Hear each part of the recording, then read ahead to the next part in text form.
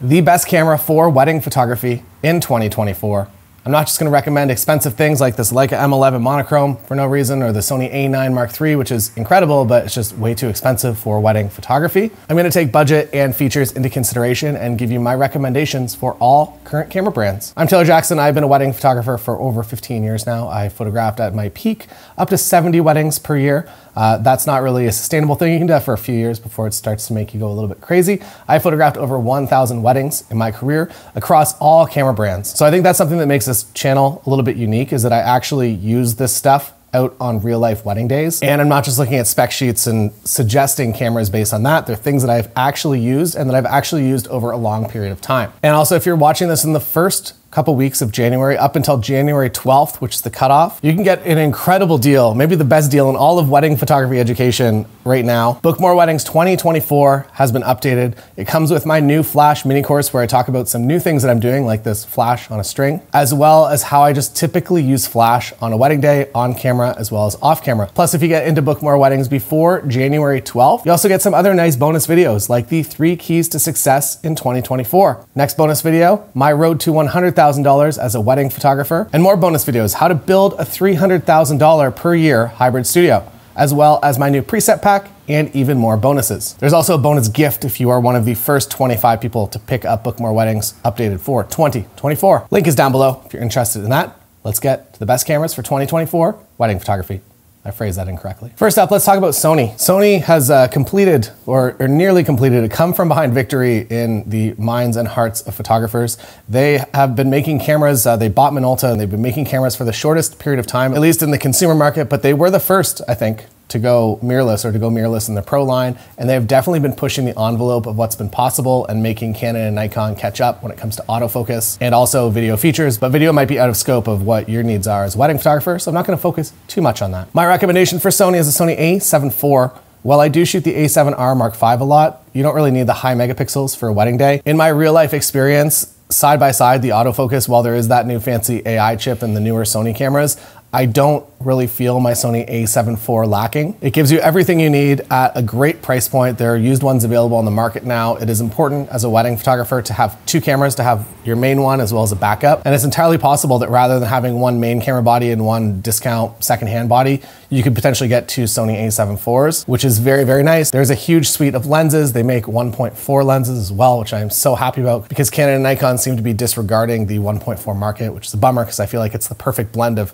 quality, shallow depth of field, as well as price and size. And even though the Sony a7 IV is, I think, two years old at this point, is still my recommendation for the Sony ecosystem for wedding photographers. Next up, Nikon.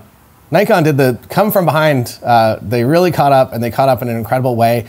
And I would probably consider the Nikon ZF or ZF, depending on which country you're from, as one of the most interesting cameras for wedding photographers across all brands. It really does a lot for a low price point, and the Nikon 1.8 lenses are amazing. And there's a lot available on the used market, and they just, the form factor is very, very nice. I would not recommend shooting the 1.2 glass on the Nikon ZF. The, the grip, even with the extension grip, it's not there, I don't think. And my arm is actually still recovering from using the 51.2 uh, with the Nikon ZF with the grip uh, for two wedding days in a row. And it's just not the correct balance balance for an all-day wedding camera. The other benefit, uh, I should have mentioned this in the Sony uh, section as well, the Tamron 35 to 150 as well as the Samyang 35 to 150 exists for Sony. The Tamron 35 to 150 exists for Nikon now, and that makes me so happy. That is, uh, I would say, an absolutely go-to ceremony lens as well as a lens you could just shoot the entire day with. I'm happy with the megapixel size of the Nikon ZF as well. We'll talk about Canon next where the megapixels get borderline, but still maybe okay.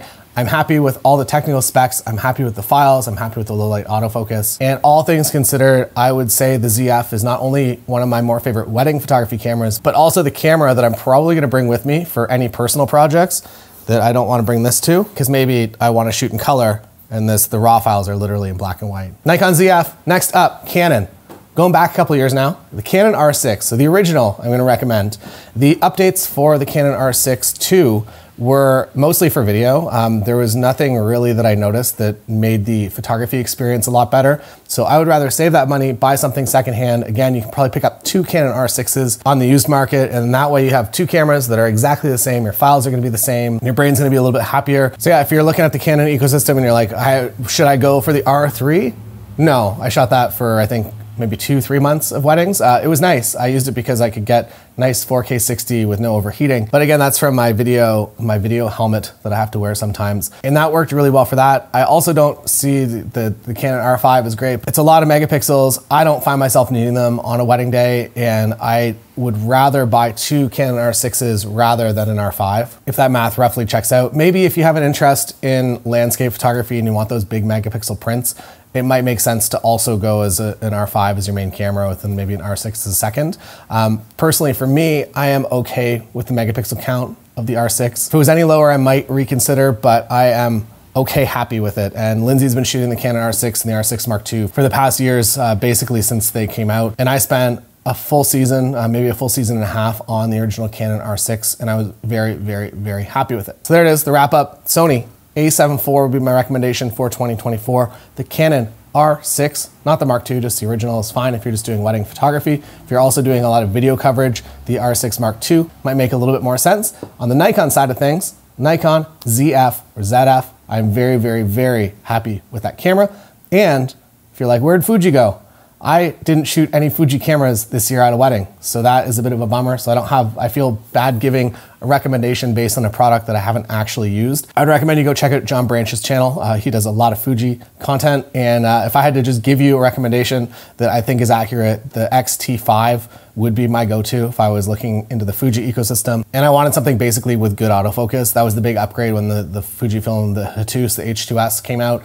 It allowed Fujifilm to autofocus a lot closer to a Canon or Sony, or Nikon is now right up there as well. Uh, I feel like all the brands for autofocus I'm pretty happy with overall. And if you're interested, until January 12th, you can get in on Book More Weddings updated for 2024. Get those bonus videos, and it comes with a lot of bonuses if you get in before January 12th, 2024. Also, the price on it is ridiculous. I feel like I'm gonna get some messages from other educators. Gonna be like, you're ruining the industry, but I guess that's it's positive for you right now. I gotta deal with that at WPPI and Imaging USA. It's fine.